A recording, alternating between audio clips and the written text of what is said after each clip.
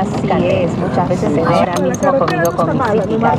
Marque el asterisco. What we're hoping to find are what are called the lazy stones, which are stones that were cut from the major basalt deposit and never moved to Cusco. And so we're going to also, of course, be looking for tool marks because you basically see no tool marks in the stone at Coricancha.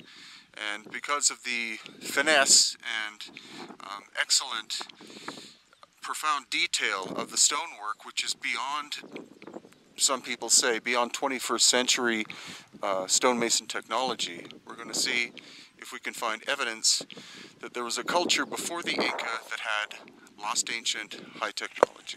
So that stone from the river was used for working the hard stone. Because he said that So we're going through the Inca period quarry here. They're broken stones all all around, even some river stones, as was shown in a previous clip of granite that was used to do the shaping. But what we're looking for are megalithic, much, much bigger stones, because in general the Inca used smaller stones that were easy to handle, and in general they used stone from the Cusco area. If they didn't have to go 50 kilometers to get the stone, why would they bother? But the megalithic people did. They always would build a building or construction from one quarry. They never mixed stone together because the properties of that stone, for some reason, was very special to them. So here we have an Inca period piece of stone that was being shaped. but you see how rough the rough all of the edges are. This is not like the fine work that we find in the Coricancha of much larger stones. So these are the sleeping places of the, the workers, these niches, during Inca times. So first possible evidence of a larger stone. This would weigh several hundred pounds. And since the only beast of burden the Inca had was the llama, which could carry maybe 50 pounds, um, how did they move stones like this, but much, much, much bigger?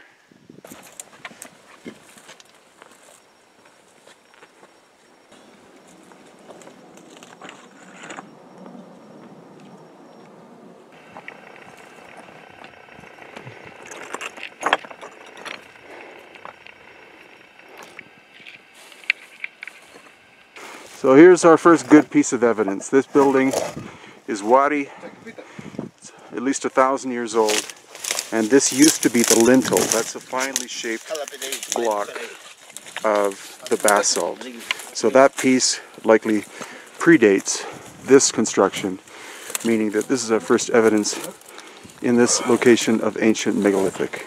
And here again you see what would be, or was, standard Wari construction, which is broken pieces of stone piled on top of each other, but they used this piece as the lintel.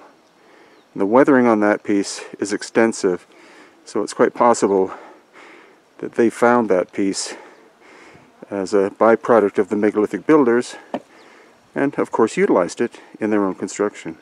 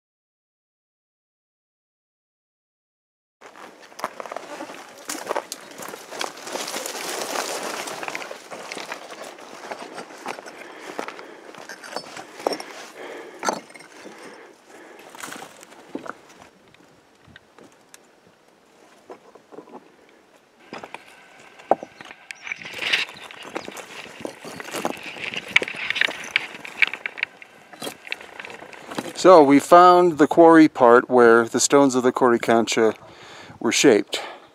Here's an example of a test piece here. Those two fit together very well. The stones uh, in the Coricancha in general, are, they're not megalithic, they're not huge in size, but they are, they represent most likely the finest stone on stone construction in the Americas, technically almost perfect. The Inca maybe were able to do that kind of work, but most engineers and stonemasons who look at it say, you can't do this with stone or bronze tools. In fact, even in modern day, it'd be very hard challenge to construct the Coricancha. But that's why we've come to the quarry to see the actual evidence. And we are 50 kilometers away from Cusco.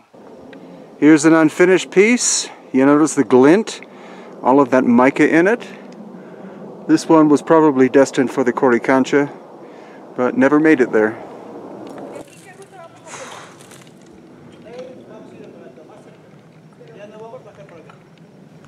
So this is the evidence. We see partially finished stones in here. So after 10 years, I'm finally in the quarry of the stones for the Coricancha. Again, if the Inca did build that, how? With what kind of tools? Because you can't fit a human hair in the joints. And they had stones to work with, and they had bronze chisels to work with, and meteorite hammers. But the story just becomes, rather than solved, more perplexing.